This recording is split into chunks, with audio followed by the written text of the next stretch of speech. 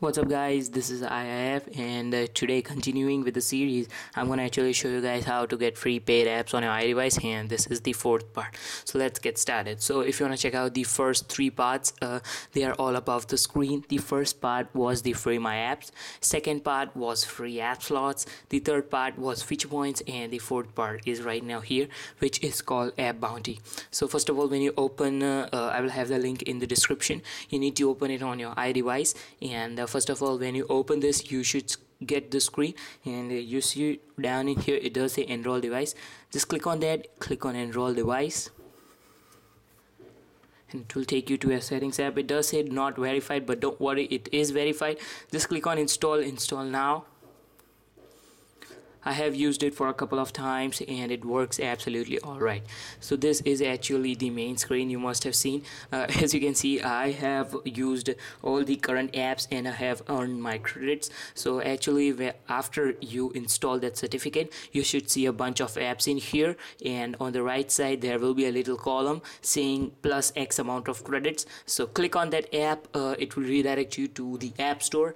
Uh, it will ask you to download that app. It will be a free app so don't worry download that app for free and once that app is downloaded run that app for about 30 seconds. Yes uh, you should be connected to Wi-Fi or any 3G 4G LTE network.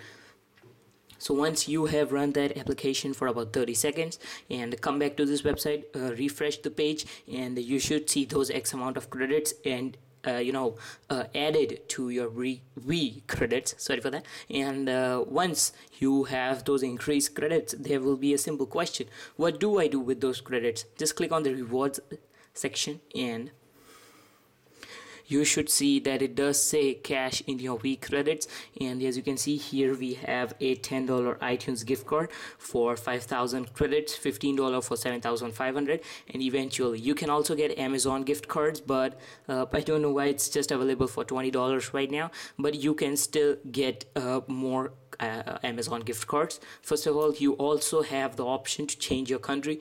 Actually, you can't change like many options. You just have United States, United Kingdom, and Germany. So the guys who are outside those countries, uh, I'm sorry, but you will not be able to do it. But the guys in US, UK, and uh, Germany will be definitely able to use this. So yeah that was a quick tutorial on the AppBounty to how to get free paid apps. If you like the video hit the like button down there. Or uh, if you want to get such more awesome videos just click the subscribe button down there. It will help me to create some awesome videos. So again thanks guys for watching this video and I will definitely see you in the next one. Namaste